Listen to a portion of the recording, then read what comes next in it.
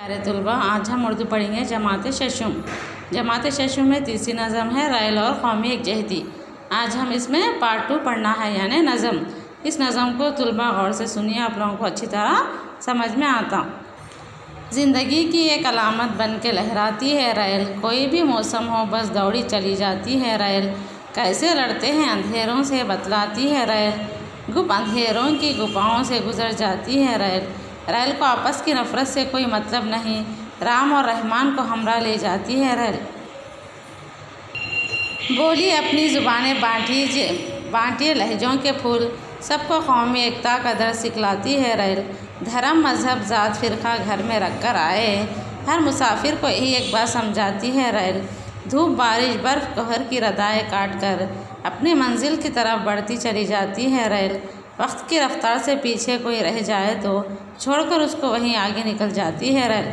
यानी तलबा इस नज़म का खुलासा पढ़ने से आप लोगों को और अच्छी तरह समझ में आता है कि रैल में हर मज़हब के लोग किस तरह एक जगह बैठकर जाते हैं। यहाँ पे तस्वीर में भी देखो, इसमें हर मज़हब के लोग बैठे हुए, हिंदू, मुस्लिम, सिख, ईसाई, यानी रैल के अपना घर नहीं होता ना तो इसमें हर मज़हब के लोग मिलजुल कर लेके जाती रैल और अपनी मंजिल को पहुंचाती है। इसी तरह खुलासे में देखो तलबा।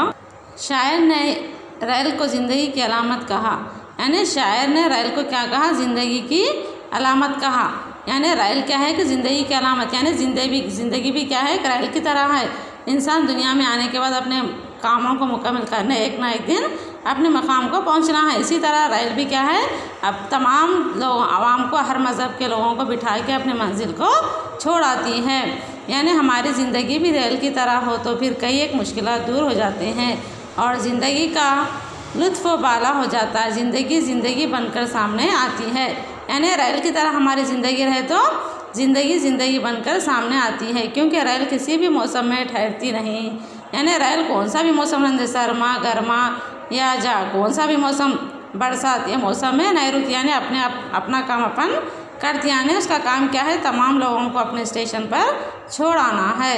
हर मौसम में चलती रहती है, जबकि एक हम है कि जाड़े में सर्दी से ठिठर जाते यानी इंसान की फितरत ऐसी है, अगर ज़्यादा सर्दी हो गई तो हम क्या करते, घरों से बाहर नहीं निकलते। इसी तरह बारिश हो तो घर से बाहर नहीं निकल अगर ज़्यादा हद से भी ज़्यादा बारिश हो तो घर से बाहर नहीं निकलते इंसान। लेकिन रैल क्या है, वो हर मौसम में चलती चली जाती है, और गर्मा हो तो गर्मी से कोई काम नहीं करते इंसान। लेकिन रैल को देखिए अंधेरों से भी नहीं डरती, बल्कि वो तो गुप, अंधेरों की गुफाओं, यानी अंधेरे गारों गारों की भी परवाह नहीं करती। यानी रैल क्या करती? कितने भी बड़े बड़े गार रहेंगे अंधेरा रहेंगे उसमें से चले जाती रहती हैं। रैल की एक और खसूसियत ये है कि वो किसी भी धर्म या मज़हब का आदमी हो, उसे अपनी मंजिल तक पहुंचाती है।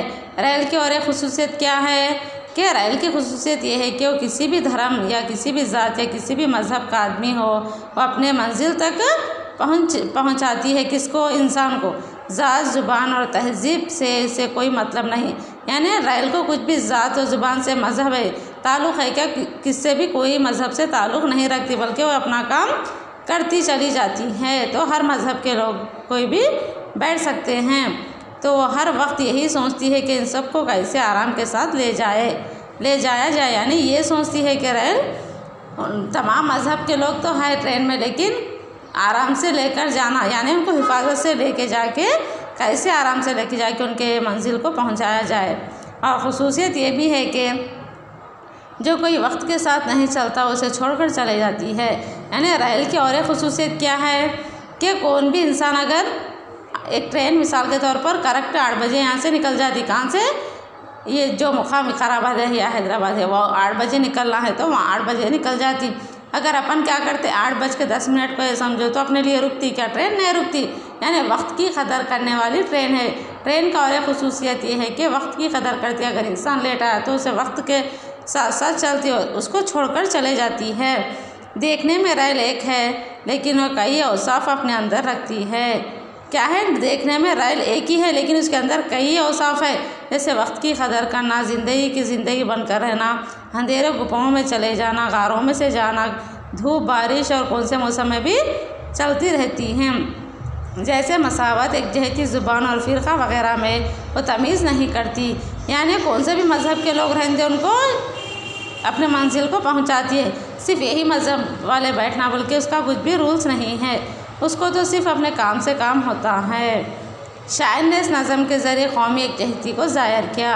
यानी शायर कौन है इसमें? ग़ुलाम गौस हुसैन क्या बयान करना चाह रहे कि इस नज़म के ज़रिए कौमी एकजहती को ज़ाहिर कर, यानी तमाम कौम के लोग, हर मज़हब के लोग एक कौम में रहने के बाद को, बाद कौन से भी मज़हब से एक दूसरे में लड़ाई झगड़े नहीं करना चाहिए, मिलजुल कर रहना चाहिए।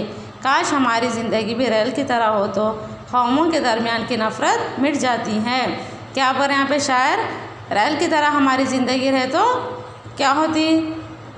कौमे के दरमियान नफ़रत मिट जाती है और हम सब अपनी अपनी ज़िंदगी को खुशगवार मनाते हैं। इसी तरह तलबा क्या करना चाहिए? आपस में मिलजुल कर रहना चाहिए। इस नज़म के ज़रिए हम लोगों को ये बात मालूम हुई कि कोई भी मज़हब से ताल्लुक़ रखेंगे, यानी अपन कहाँ भी तालीम हासिल करें, वहाँ पर हर जगह मिलजुल कर रहना चाहिए, बल्कि एक दूसरे से लड़ाई नहीं करना चाहिए। इन नज़म ख़त्म हो चुकी है, तीसरा हिस्सा कल पढ़ेंगे।